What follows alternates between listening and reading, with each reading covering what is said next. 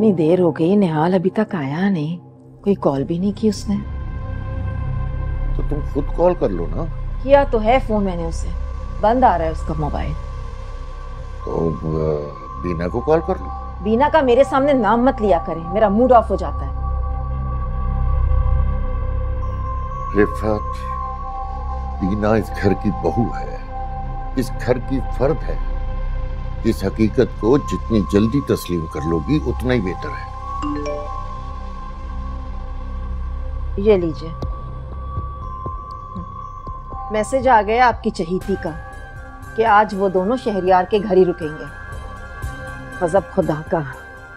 कि दामाद कब से ससुराल में रात को रुकना शुरू हो गए? पागल हो गया उसकी मोहब्बत में तो निहाल। कौन सा दूसरे शहर में है ससुराल जो रात को रहने की नौबत आ गई है? एक बात बता दूँ मैं आपको, करीम साहब। ये लड़की ना, निहाल को हमसे दूर करके ही रहेगी। तो बिल्कुल इश्क में डूब गया है बीना के।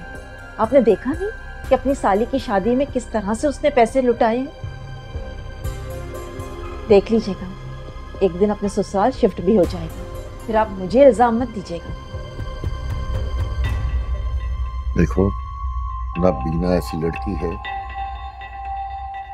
ना निहाल इतना लापरवाह है। तुम खाओ खा का वहम पाल रही हो।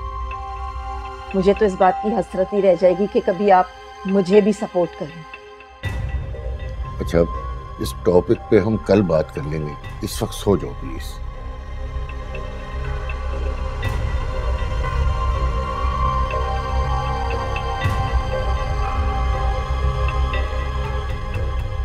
बीना बीबी तुम्हारी तो अब खैर नहीं है।